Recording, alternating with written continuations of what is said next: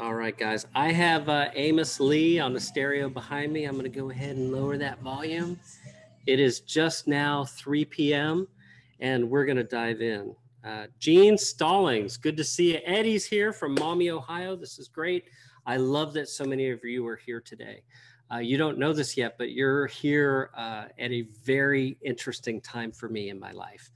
Um, the past year, as it's been for so many people, has been so unexpected. There have been so many things, and and yet within it, there have been all these gifts that have been delivered. So uh, raise your hand for me in the chat. Go ahead and say hello. Give me a yes, a what's up in the chat. If 2020 has been a surprising and challenging year for you so far, let's go ahead and see that.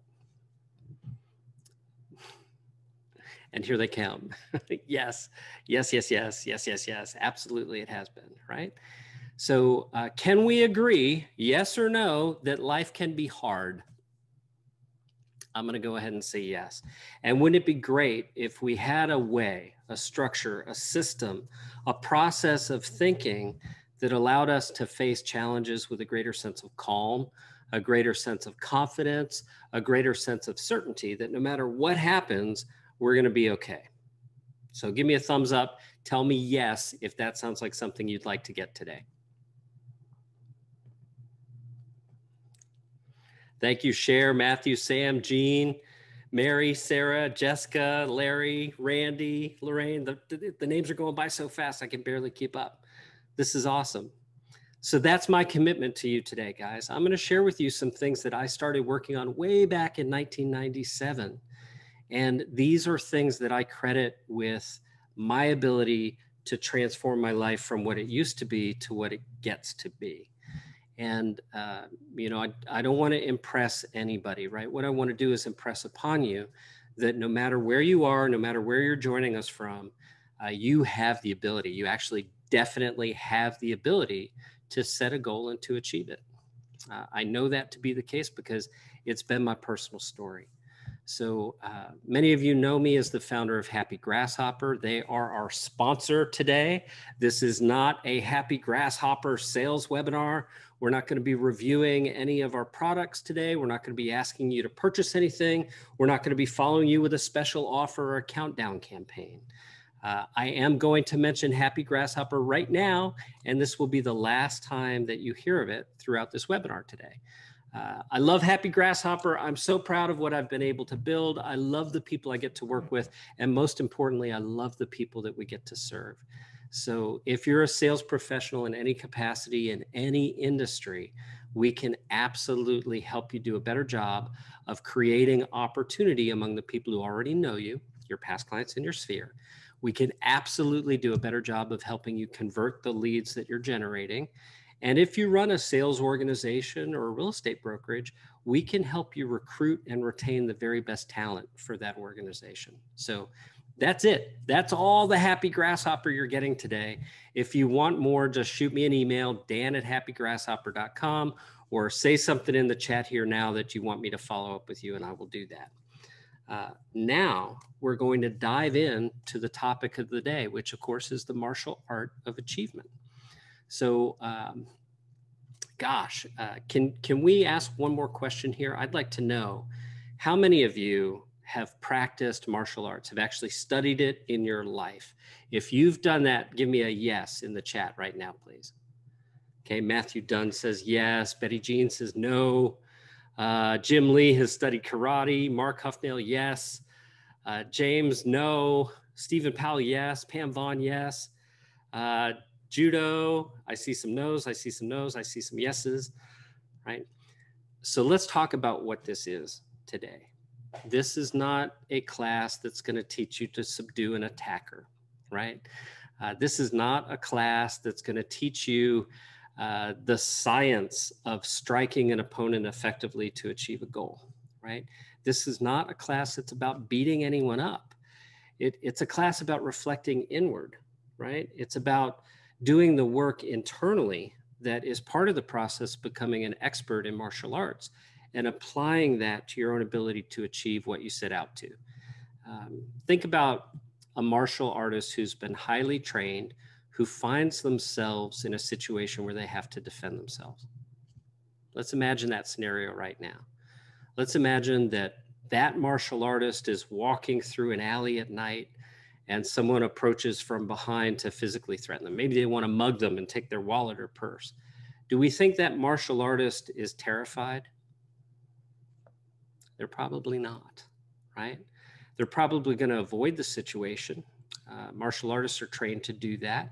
They don't want to find themselves in combat. They don't want to have to defend themselves. And yet, if they need to, they're very capable of being able to do that. So, uh, what it is that we're going to talk about today is that attacker that lives between our ears, right? We're going to talk about defeating that inner voice that comes out of nowhere and prevents us from achieving what it is we set out to achieve, right? And I am going to uh, review with you exactly how I've followed this process in my own life and how it's taken me from being a brand new father who was terrified that he was going to get fired. Like I had my first ever corporate sales job and I was horrible at it. I was really, really bad. My boss pulled me into her office and said, We like you, but you can't stay if you don't get your numbers up. Like I really felt the pressure. I had a brand new baby at home. I had no certainty that I would be capable of succeeding. And, you know, all these years later, to be able to look back and to know that I've started four multi million dollar companies. I've started seven companies in total. Three of them were absolute dumpster fires. Uh, I've earned tens of millions of dollars in my career.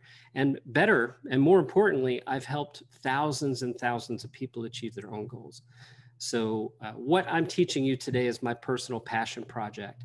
And uh, what I'd like to do is uh, start by sharing something that's been really important to, to this whole process. Um, I have a bunch of these, bunch of these composition books that have been hanging around forever. Uh, I am a lifelong journaler. I'm going to reach over here on the bookshelf next to me these are all moleskins that I've completed. Every single page in here is filled with notes, right? Every single page in there has content in it that's been uh, written by me for the sole purpose of helping me uh, break through the barriers that life has set for me. So um, the place that that life started to change for me was when the pressure got so much that I had to really make a change. Okay, so I'm going to tell you a quick story. Uh, the year was 1997. I was employed at a company called GTE Directories. I sold Yellow Pages ads. So uh, give me a, a, yes in the chat if you can even remember the Yellow Pages. like, who are the people with the gray hair, right?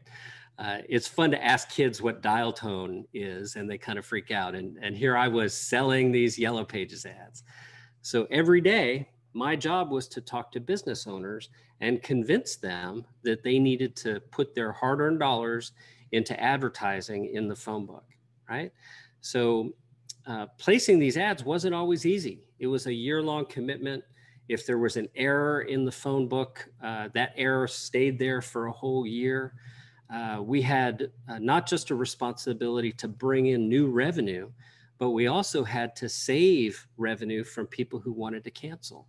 So, uh, you know, I started this job with great expectations. Perhaps you can relate to that in your own career, only to find that the reality was something different. And uh, I wasn't prepared for that reality. I, I wasn't prepared for the amount of rejection that I was receiving in that sales role. Even though at the time the Yellow Pages were a fantastic advertising vehicle, uh, I personally was not successful getting things sold until I reached a point where my boss had to pull me aside and threaten my position. Right at that point, a switch went off in my brain, and I realized that this wasn't about wanting to sell, it was about having to sell in order to prevent catastrophe from happening to me and to my family. So, two key things took place at this time. Uh, the first was that my boss said, Tony Robbins is coming to town, Dan if you don't go to Tony Robbins, you can't work here. And I said, well, how much is it? Uh, she said $400 for a one day program, and I couldn't afford it. I didn't have $400 I could scratch together to go to this. And so I begged her to let me keep my job. And she said she would pay for me to go to Tony Robbins. And if I failed, uh, I would owe her the $400. so I went to that uh, that first event and I did not have a great attitude. Uh, can you guys give me a yes, by the way, if you've been to a Tony Robbins event? I want to see that in the chat as well. So give me a yes if you've been to Tony Robbins. Okay, I see a handful of yeses. Here they come. A bunch more coming through. So maybe, like me, your impression of this man was not positive the first time you were exposed to him. I knew him as the late night infomercial guy uh, selling like snake oil, you can be anything you want to be stuff. I just didn't buy in at all. I felt like I was getting $400 stolen from my pocket to go and sit at this event. And when I got there, it got worse because what's everyone doing? They're jumping up and down like all day long. People are jumping up and down the guy in front of me is like, "Hi, I'm Mike. What do you do?" And I sell life insurance. And what are you? And blah blah. And it, oh, it just felt like, oh, these. What are these people doing? I had such a huge chip on my shoulder that I just wasn't receptive. And you know, so like 9 a.m., 10 a.m., 11 a.m., like it's starting to make sense, right? Parts of it are starting to make sense to me. You know, I would say, oh, that sounds about right. Hmm okay people move towards things they uh, they want and away from things that are painful. Hmm okay these like these things added up. It started to make sense to me and by the end of the day i was one of these guys jumping up and down with everyone else right? It really made an impact. And then i came home and i told my wife about the experience and you know she had the same negative opinion i had had but she didn't have the benefit of being there right so, you know, sometimes in life, when we encounter an opportunity for personal growth, uh, the people who are around us in our lives aren't ready for that. And this was my first experience with that. So, you know, that the Tony Robbins training wore off pretty quickly. I came back with a really gung ho attitude. And within a few weeks, my performance was dwindling again. And uh, I'll never forget uh, one of my accounts that I had to go and sell was a Jeet Kune Do school. Jeet Kune Do, like I had never heard of Jeet Kune Do. I had no idea what this was. And I walk in, and there's this super nice guy there who's really relaxed. He welcomes me. I explain I'm there about the yellow page. He goes, Oh, yes, I've been wanting to have a yellow pages ad. This is perfect that you're here. We have this great conversation, and I end up enrolling in Jeet Kune Do, right? Wow. So all of a sudden, I'm now studying martial arts officially for the first time in my life. And uh, for those of you who may not know, Jeet Kune Do was Bruce Lee's uh, philosophy of martial arts. Uh, it means way of the intercepting fist. Now, uh, Bruce Lee is perhaps the most famous martial artist of all time. I think societally, most of the world is fascinated with martial arts. Whether we practice it or we don't, it's certainly part of our culture. Uh, the Netflix hit uh, just recently was Cobra Kai, right? We're seeing the Karate Kid cast from the 80s get recycled into this new show. And uh, tons and tons of people are watching it and talking about it. So, uh, martial arts has certainly been in the zeitgeist uh, of the culture I live within throughout my entire life. And I was thinking it was one thing and then discovering it was something else. So, this is where I'm going to pull out the first of these notebooks and share it with you. So these are notes that I started to take uh, as I was taking this class for the first time. So actually not the right page. Let me get the right page here. So these are the notes from that first class in 1997, right? And the things that you see there at the top of the screen, uh, the first tenant of Jeet Kune Do is no way as way. And that's where we're going to start today, right at the beginning with the very first thing I wrote on the page. No way as way. And it sounds so simple. And what it really means is that we never want to become so rigid in our actions or in our thinking that we believe there's only one way to do something. So if we think of Bruce Lee's personal story, he grew up studying a martial art called Wing Chun. And prior to Bruce Lee, uh, martial arts were practiced almost as a religion. Like it wasn't shared. You wouldn't take a piece of Wing Chun and combine it with Taekwondo or Savate or Muay Thai. Uh, but Bruce Lee did that, right? And he set a trend Uh, and part of why he became so successful as a martial artist, as a movie producer, as an actor, uh, was because he had a talent for assimilation. Uh, many times throughout history, we see examples of genius where uh, it's not so much uh, the inventor of something, but the repurposing of something. So, you know, think of Jonas Salk with penicillin, right? He didn't set out to discover an antibiotic, but he happened to notice that it had antibiotic properties that could be used in medicine. Uh, well, you know, here's Bruce Lee studying Wing Chun, and he gets exposed to different martial arts and he sees how those other uh, motions could be effective for him uh, in his practice. And so he pulls them in, he assimilated them into Jeet Kune Do. So that first tenet, no way as way, is the place that we have to start together today. We have to agree to have the pliability of our thinking, the flexibility of our thinking to be willing to try and to add and to subtract and to take away and to test and experiment and never get so married to the idea that there's just one way of doing something that we can't remain open to a more efficient possibility. Uh, this is natural to all of us as children. It's as we grow and mature that we forget it. Uh, as a parent, I know I've seen my kids go through different stages of growth there's a point in time where they could care less about what they look like. They could care less what people think of them. They're completely pure and innocent from being influenced by that. Uh, they're just interested in achieving something. If we put the cookies on the top shelf, they don't care if they have to stack a stool on top of a couch, on top of an oven. Like they will do whatever they need to do to get up there to get the cookies. Uh, that's their goal. That's what they're going to achieve. Uh, it's later in life that we become so concerned with what other people uh, think about us, what our perceptions are among others, that we restrict our own behavior. We we police ourselves, right? So the first tenet of Jeet Kune Do, no way as way, is designed to encourage us to adopt different and new ways of thinking so that we can achieve our goals more effectively. So if that makes sense, give me a yes in the chat. I want to see it. Boom, I see some yeses rolling in. This is awesome. Okay, so this is designed to be a very simple introduction to a very deep topic. There are people who study martial arts throughout their entire lives.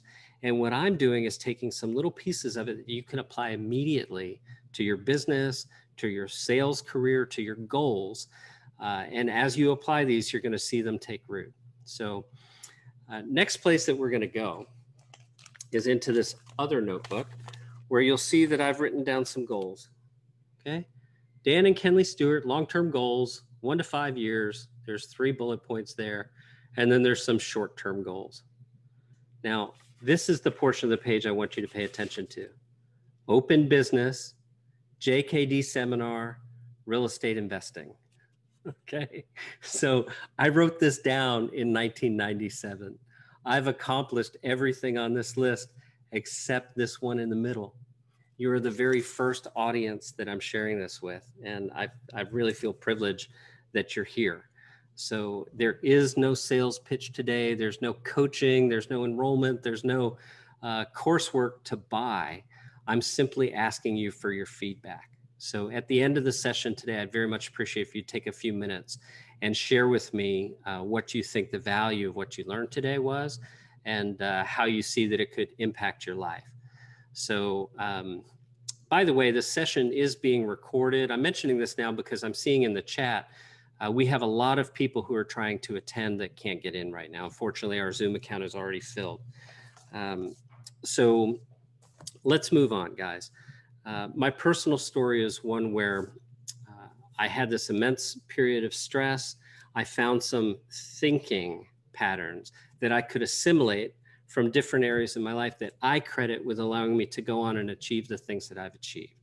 Now, I believe that if I've been able to achieve this, everyone can achieve it, right? There's absolutely nothing uh, that I've accomplished that's beyond your own capabilities. I'm convinced of that.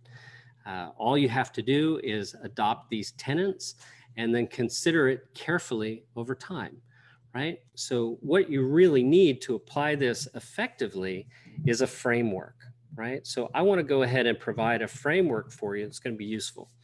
And uh, the first part of that framework has to do with understanding the tenants here, right?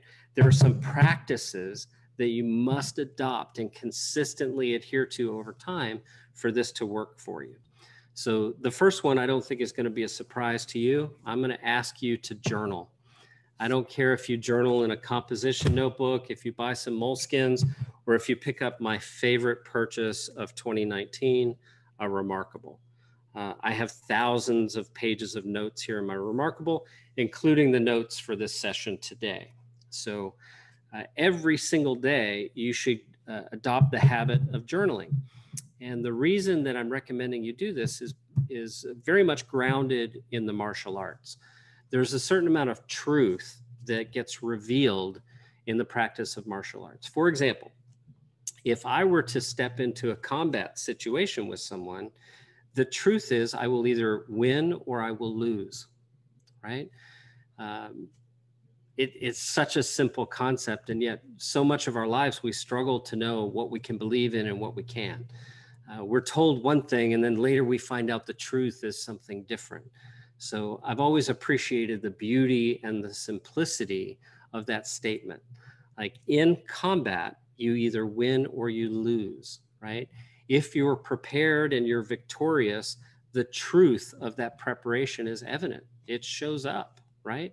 And the way that we prepare is through journaling. Okay, so this practice of journaling is very deliberate. It's not just moving the pen along the page for the purpose of saying you journaled that day. It's asking and answering very specific questions. So I want you to start this practice with me today, and I want you to begin literally right now. So I'll give you a moment to grab something to take notes with if you don't already have it. I'll give you a moment to do that.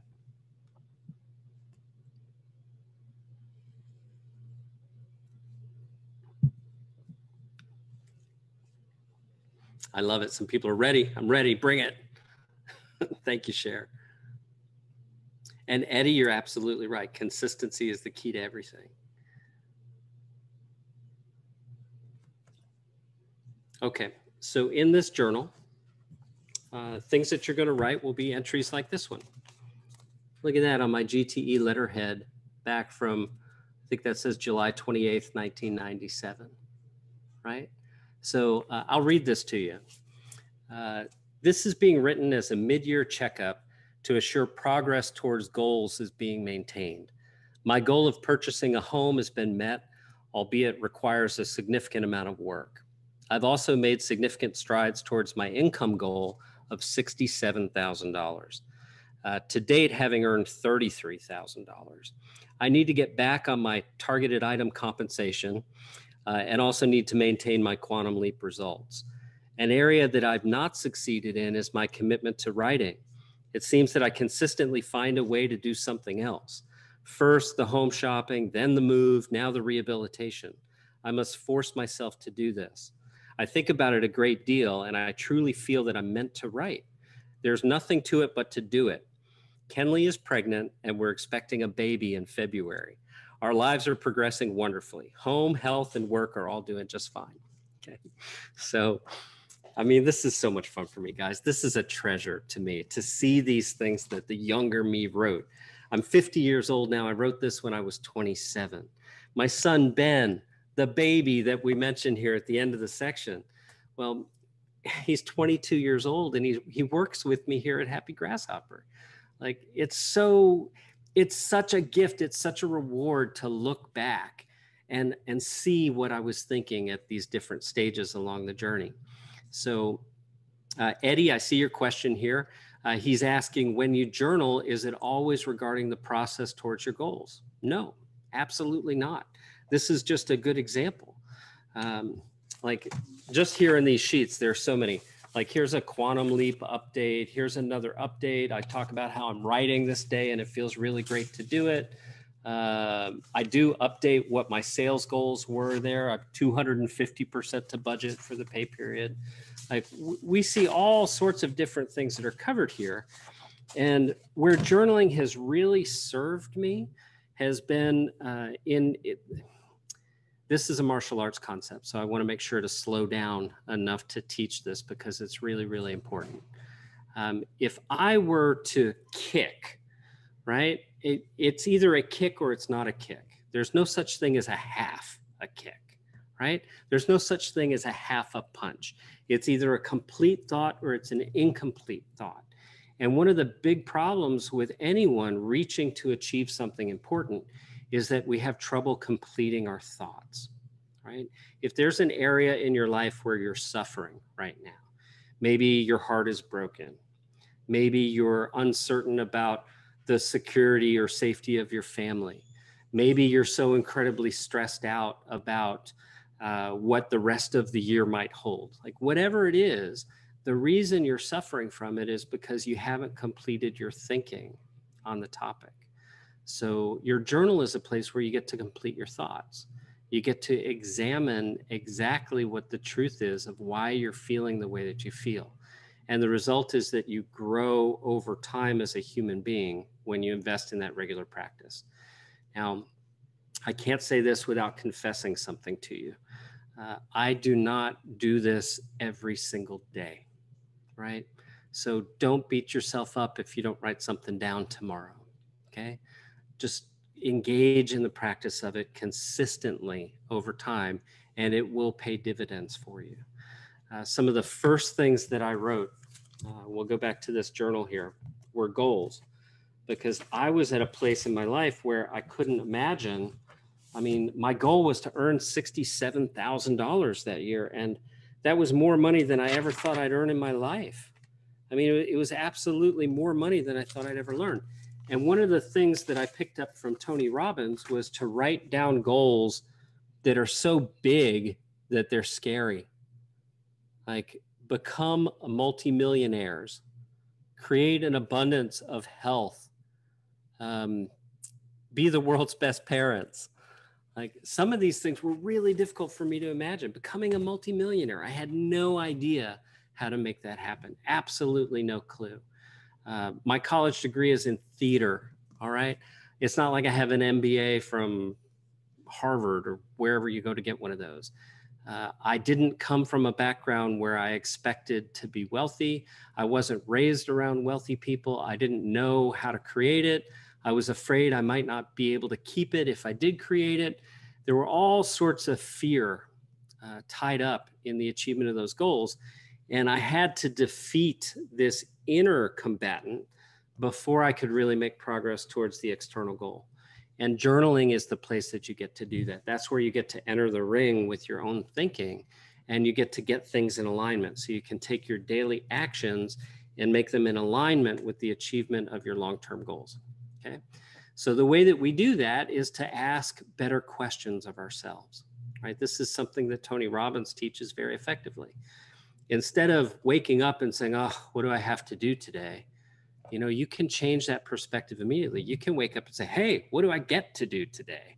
Right? It's a small language change, but it makes a big difference in our internal experience of the things that we do each and every day. Uh, some of my favorite ways to even plus those types of questions would be to say, how can I have so much fun making a huge impact while achieving my goal today? So uh, this leads me to something I also believe in very strongly, which is to know your outcome. Now, those of you who were here 20 minutes before three, uh, when I first turned on the session, we had a lot of people who were already here. Uh, I asked you very purposefully what you were here for, right? Because if you don't know, the chances of you getting it are greatly diminished, right? Back to martial arts. Um, we avoid combat whenever possible. It's a last resort to actually have to use the skills that have been acquired. And yet, when those skills are required, the goal is to finish the fight as quickly as possible, right? It's about an economy of motion. It's about a straight effectiveness to the achievement of the goal in the smallest time frame possible. And that comes from a discipline of thinking about things, of practicing things over and over and over over time. So uh, today, the prescription that I'm writing for you uh, includes journaling as the very first part. That's absolutely important. And as you're in that practice of journaling, I want you to set consistent goals for yourself. Uh, a daily goal is just fine, right? Today, my goal is to meet three new people and make them smile, right? Today, my goal is to tell five people in my life that I sincerely appreciate them, right? That's a, such a simple goal. You can write that down in just a moment. And it's so important to practice it because, like, let's use that last one as an example. If your goal is to tell five people who are in your life that you appreciate them, you are going to build such a reserve of power in the experience of doing that because each of those people is going to respond to you so positively, right?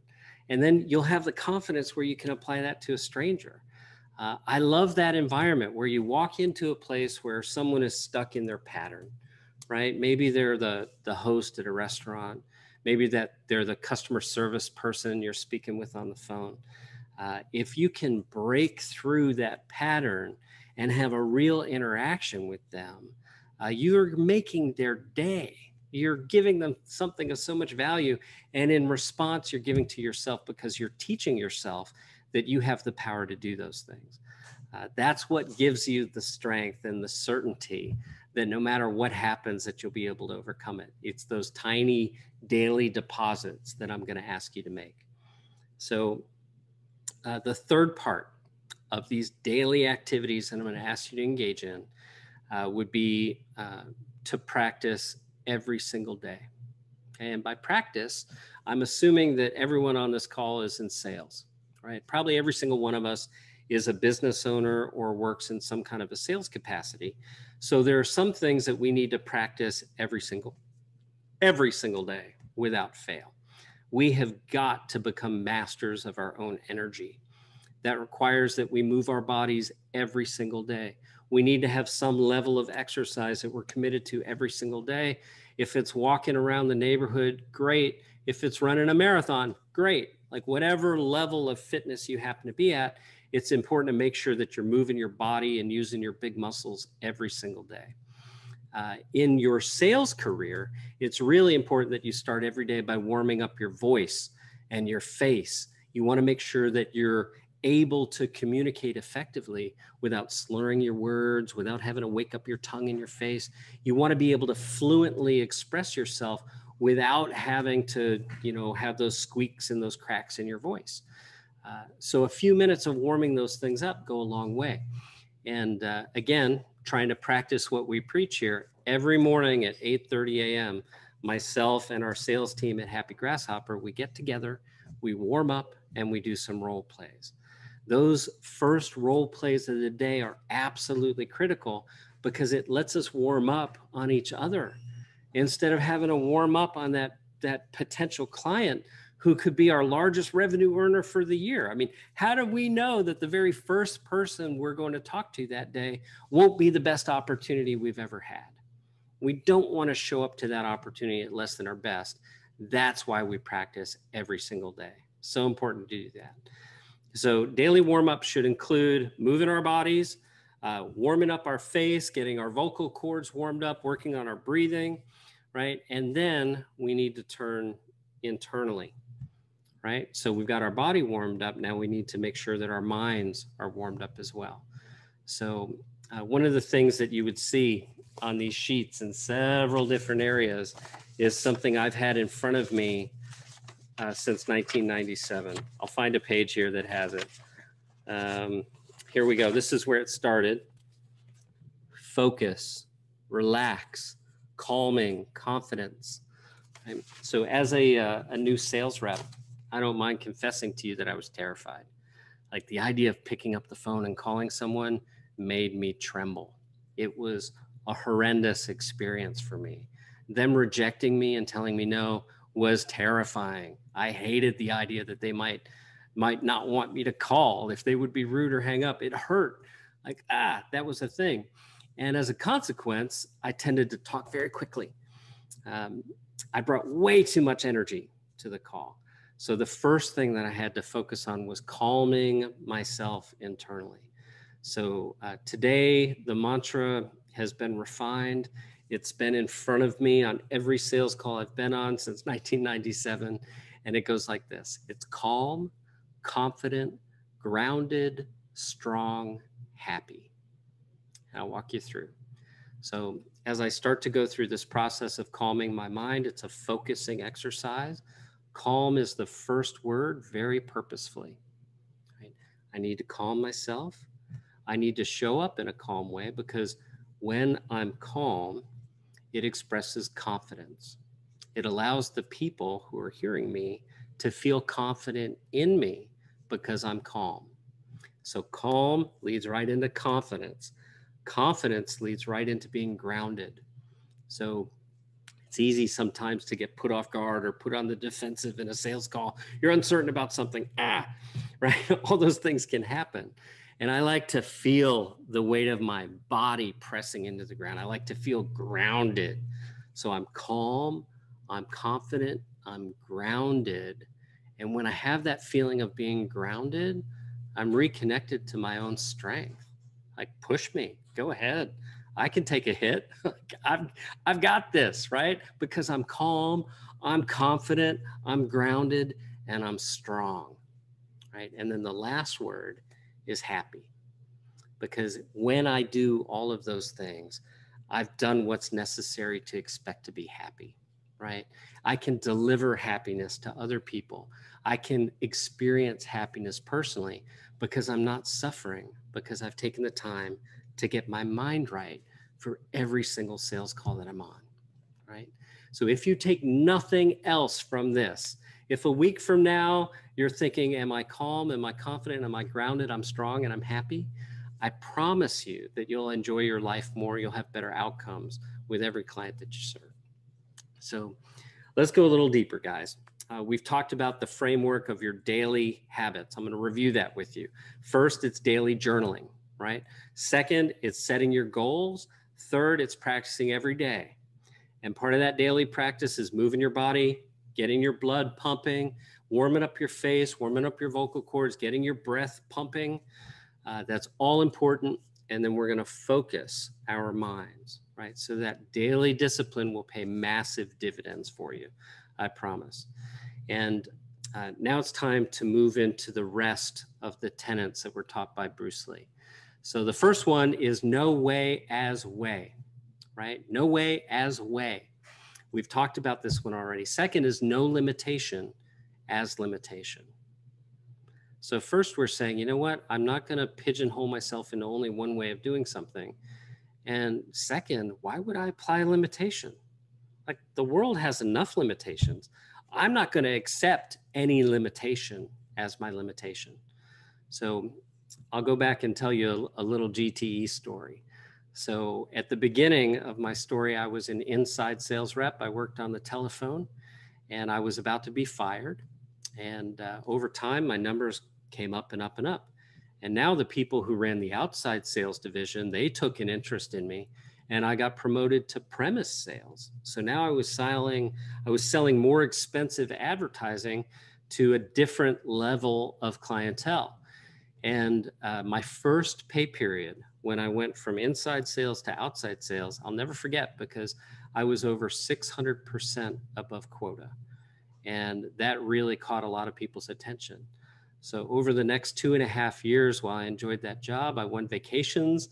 I got to go to Rome. I got to go to Banff, Canada. I had all this wonderful experience while I worked there. The very best part was getting to work with so many entrepreneurs every single day it was really infectious for me.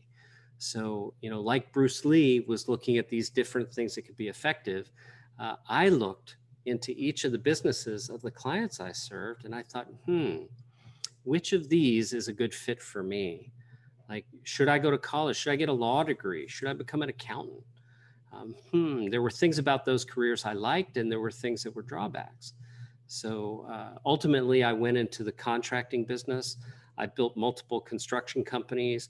Uh, then we built the technology that was needed to power those companies. That became my first CRM company. Uh, love technology, have been involved with computers since the 1980s. And uh, that's essentially where Happy Grasshopper comes from. It's that entire arc, that entire journey. So Uh, no limitation as limitation is the second. Uh, the third and the fourth are absorb what is useful and discard what is not. Absorb what is useful, discard what is not. Third and fourth. Fifth is add what is specifically your own, right? And then the, the last one that I'll talk about today is to discover the cause of your ignorance, right? So I want you to consider something. Um, you can study something for a long time and not understand it, right? The moment of understanding, though, is rapid. It's incredibly rapid. You go from not knowing in one moment to knowing the very next moment. So, the way that you can increase your ability to serve other people most efficiently is by studying the cause of your ignorance. If you simply ask yourself, what is it specifically that I don't understand about something? Uh, you'll get to the heart of it. You'll get there much more quickly. So, those are the things that uh, are really critical for me to share with you from uh, from Bruce Lee's teaching. Um, so again, let's review. We're going to journal, right? We're going to move our bodies. We're going to warm up our face, uh, our breath, our voice, and our minds, right? Then we're going to continue to learn. We're going to continue to invest some time thinking about how these philosophies can be applied in different ways. So those tenets that I've reviewed are very important. Um, and now we're going to transition into some direct uh, martial arts conversation. So again, raise your hand for me if you practice martial arts today. If you're currently practicing martial arts, go ahead and let me know. Oh, and Stephanie, I see that uh, you're also a fellow theater grad. I haven't been in a play in a long time, but I do a lot of public speaking. I love that.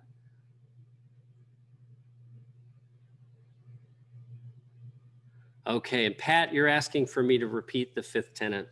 So let me just run through them all again real quickly. First one is no way as way. Second is no limitation as limitation. Third is absorb what is useful. Fourth is discard what is not. Fifth is add what is specifically your own. And then six is discover the cause of your ignorance. Hope that helps. All right. So I don't see people raising their hands saying that they're practicing martial arts. So uh, let me go ahead and teach something. There's uh, a concept called range of combat. So let's consider that all of you are observing me currently through Zoom. Okay. So even if I really wanted to, there's no there's no punch, there's no kick, there's no gouge or grapple or uh, there's nothing I could do to physically cause you any harm through Zoom. All I have is the ability to use my words, my mind, uh, my body language to influence you. That's it. I don't have a magic button here where I can, you know, launch a missile at you. If we're in combat, uh, those things would be handy, right? But uh, we're not in combat today. We're just talking about this concept of range of combat. And we're going to transform it now into the range of effectiveness.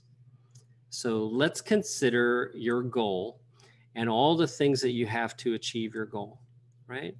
Uh, so we'll assume the goal in this case is to uh, win the sale, right? We'll set that simple. So we've got a person and we have another person. One person is selling something, the other is potentially buying something. Uh, so, you know, at the outer rings, we have marketing. Marketing's job is to pull those people closer together. We want to pull the prospect closer to us. At some point, the prospect jumps in a funnel. They register for something, they become a lead. Now we're moving a little closer. There's email that's being exchanged. There's phone calls that are being exchanged. There's text messaging that's being exchanged. We're pulling them closer and closer and closer until finally we have a phone call, we have a one to one direct conversation, that's where we're most effective. So, range of effectiveness, the closer we can pull people to us, the greater influence we have over them, the greater uh, opportunity that we'll have to achieve our goals. Now, I cannot stress this enough. This is really critical. Uh, I opened the session by saying this is not about beating people up, right? So much of the language in sales today is about dominance. You know, we're out there killing it we're hunting, we're killing, we're eating. Uh, it's it's the language of dominance and violence in sales, And, you know, I understand that there's a certain cohort that really thinks that's the way to go.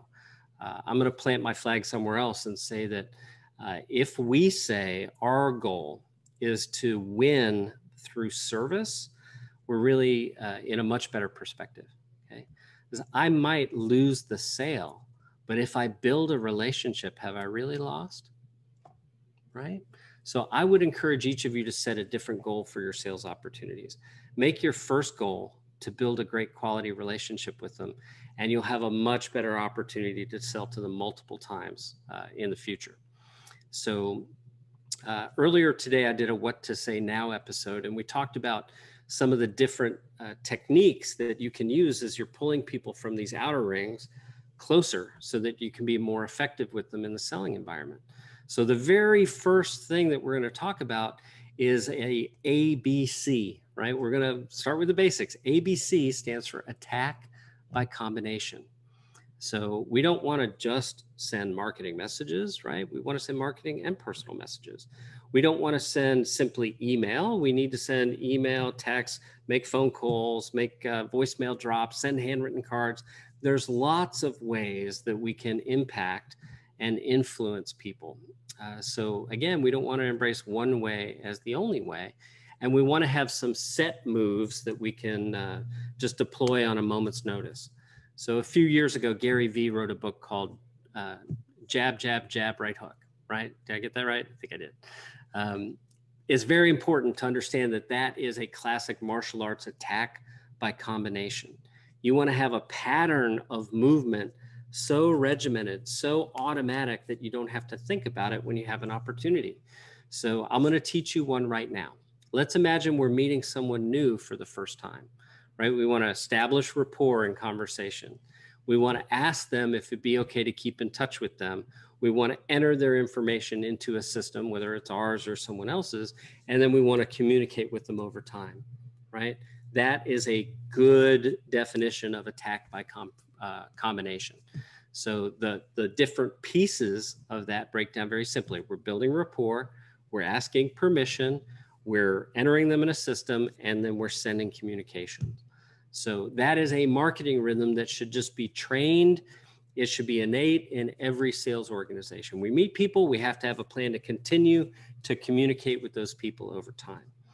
Uh, you know, if you're at a trade show, you've spent thousands and thousands of dollars to be at that trade show. All those people that you meet, uh, there's no value there if you're not building an ongoing relationship and having ongoing communications with them. So uh, today, for example, many of the people that I invited to this event are people that I met on the road initially, out uh, speaking and teaching and, and running different events. So uh, the attack by combination is something that's going to be very, very useful for you uh, once you figure out a few of those set patterns. Uh, another one would be lead response. So let's imagine that you're generating a lead somewhere out in the ether. Maybe it's your website, maybe it's a third party's website. That lead can be automatically captured and it should trigger a series of communication that goes out automatically. That's another example of attack by combination. It's a simple pattern of behavior that's expected, that's trained, that's easy to deploy, and uh, essentially it should be automatic right? Back to the martial artist in the alley getting approached from behind they don't have to think about what their action is. They've trained on that action such that it just happens. And uh, that brings me to the, the final concept i'm going to share today from the martial arts. Uh, this is a, a, chinese word wu xin uh, it translates uh, as no mindedness right so uh, Randy Lemus mentioned this earlier. He talked about Tampa Bay because we have Tom Brady now. Well, any quarterback in the NFL, any professional athlete performing at a high level enters these states of no mindedness uh, repeatedly uh, throughout the course of a game. Uh, you know, Tom Brady knows the play that he wants to run, but he doesn't know what the other team is going to do, right? So he, the ball snapped into his hands he steps back and he's observing and he's reacting. He's not thinking about left foot, right foot, left foot, throw, right?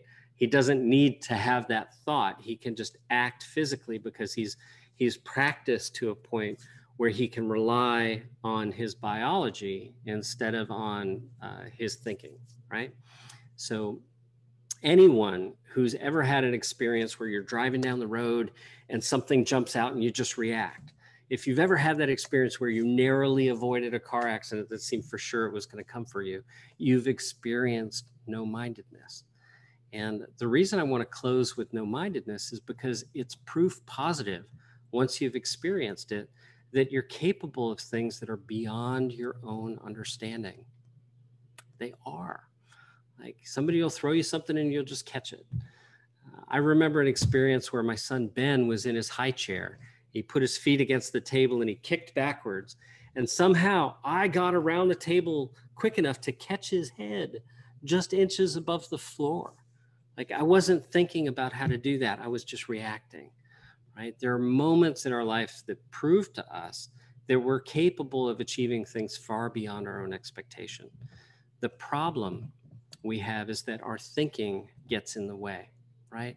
That's why it's so critical to uh, absorb that practice of daily journaling because it will help you get your mind right to where you not only are surprised by those moments, but you come to expect them. You walk with the confidence of knowing that you can create them when you need to. So uh, I really hope that I've made some impact for you today. Uh, if you've enjoyed this session, I would love for you to go ahead and give me a yes in the chat. Uh, if you would like more of this, tell me yes, I want more. I'd be happy to uh, hold other sessions where we can go deeper on sections here. Roger Holloway, thank you. Love it. Betty Jean, thank you. Share, awesome. Love it. Eddie Comp, thank you so much, guys this means so much to me that you're reacting this way. Um, this is fantastic. Thank you so much. I will I will do what you're asking. I will put together more. Uh, I will find a way to help you more with this. And uh, it is 3:52 right now. This session scheduled for an hour. I wanted to to preserve some time here at the end to make sure we can answer questions. Uh, I really do want to have uh, some engagement here. I love some of the comments here. Uh, Roger Shields, he says, great job, quote, be like water, right? That's a famous quote about the martial arts. Uh, and I love it too. It's something along the lines of when it's time for reflection, uh, be a deep pool. Uh, when it's time for action, be a torrent. When it's time for reflection, be a deep pool. Uh, I love it. Uh, thank you, Steve. Appreciate it. Thank you very much. Um, all right, all right. I will keep working on this, guys. I'll be happy to deliver more to fit any form, Roger. You're absolutely right. Let's see. Tracy Dale, yes, this has been recorded. There will be a replay. We will send that out for you. Um, I see a question about do I offer coaching? No, I do not. Uh, I have a whole staff of amazing people that uh, work at Happy Grasshopper, uh, but we are not we're not sales coaches. We're not real estate coaches.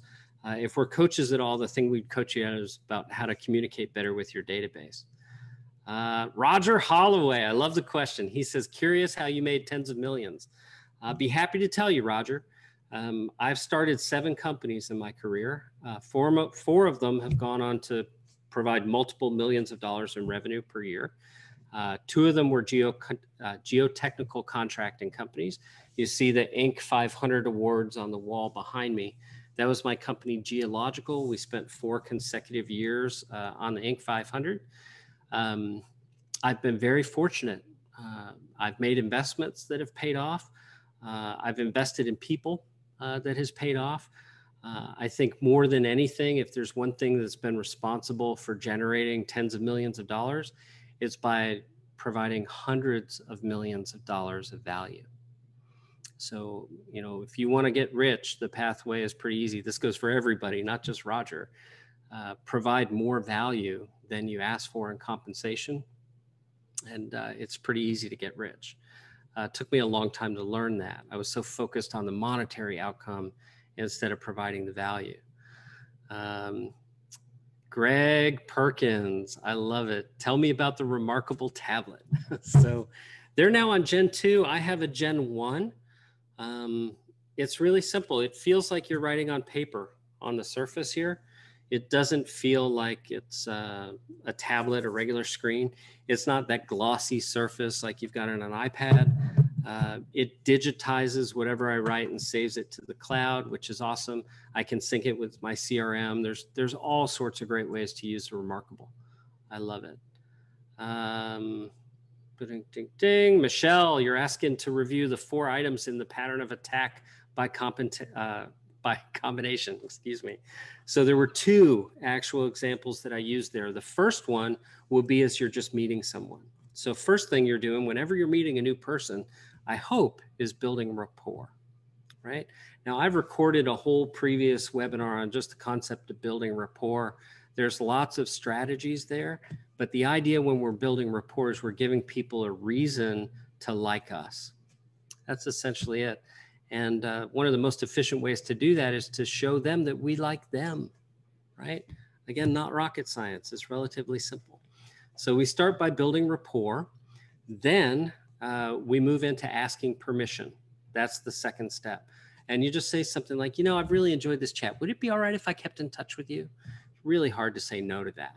So you take down their information. Third step, you enter them in the system. Fourth step, the system keeps in contact for you with that contact. So those are your four steps.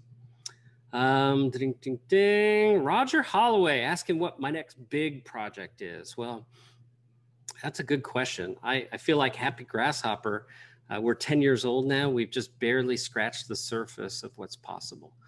Uh, the first several years that Happy Grasshopper was in existence, I uh, either owned outright or was involved in three other companies.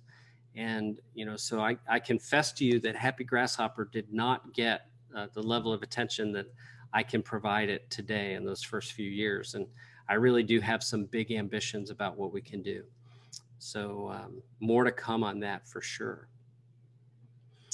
Uh, da, da, da. The Chinese term I used is Wu Xin.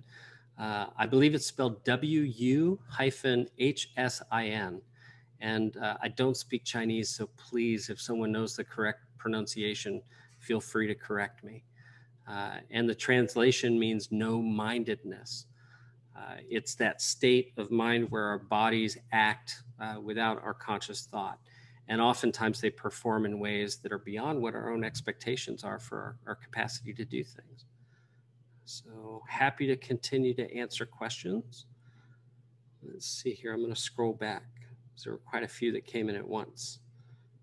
Um, Michelle, that is so kind. Wow. I, I hesitate to read it. It's so kind. Best webinar I've attended all year. Thank you so much.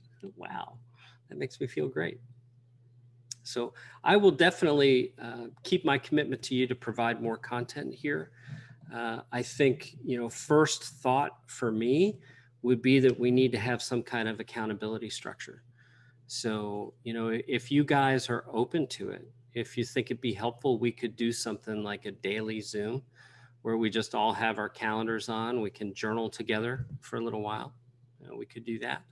Uh, one idea that comes to mind um, I'm certainly willing to uh, to teach some of these concepts in more detail. I see a few people like that idea. Um, I have a, a, friend slash client in Charleston, South Carolina, named Jan Kuha, and I was just chatting with Jan the other day.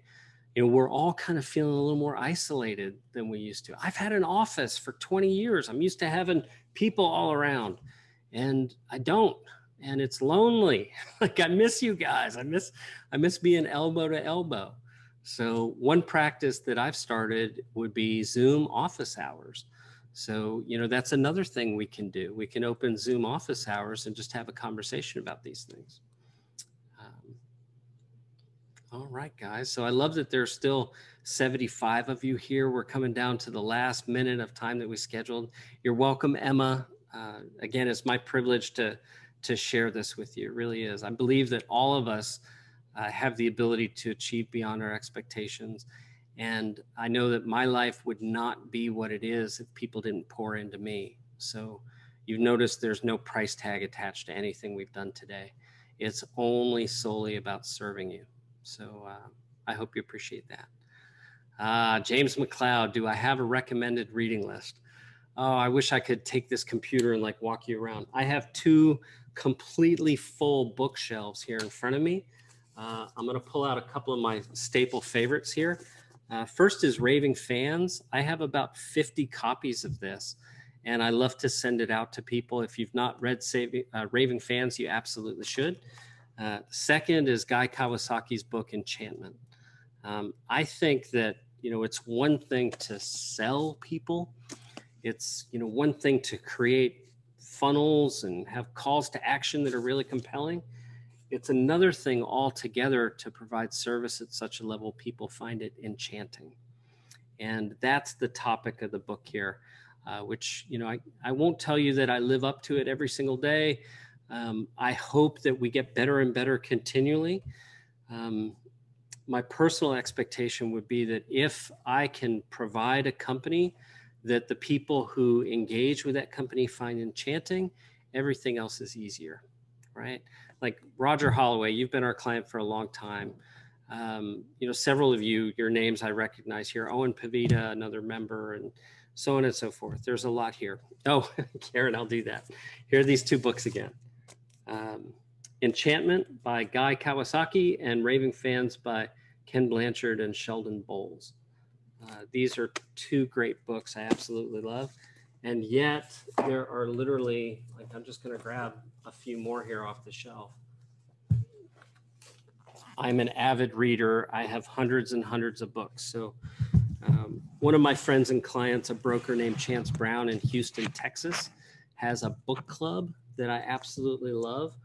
Um, you know, I think uh, if we're not feeding our minds, we're not really we're not we're not fertilizing the soil. We're not nurturing uh, the earth that's going to allow us to grow into our potential. So um, let's see. All right, guys, it's 401. I should probably wrap this up. So thank you for all your feedback. I really appreciate it. Uh, I will go ahead and schedule another session. And if you're here today, I'll invite you. Uh, if you're one of the folks that's arrived later in the session, no sweat. Uh, we've recorded this and we will distribute that recording. So uh, you're welcome, Mary. You're welcome, Sherry. You're welcome, Greg. You're welcome, Betty Jean. You're welcome, Richard. Um, you guys are great. I really appreciate you. Thank you for being here. Have a great day.